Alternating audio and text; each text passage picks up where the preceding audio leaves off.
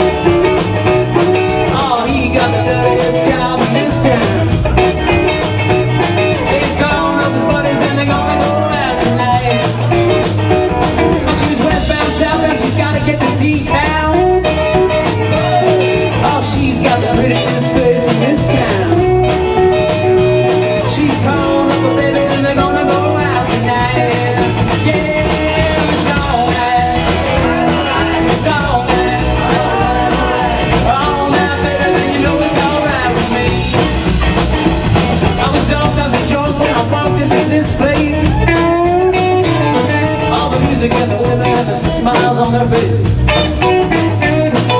I didn't know what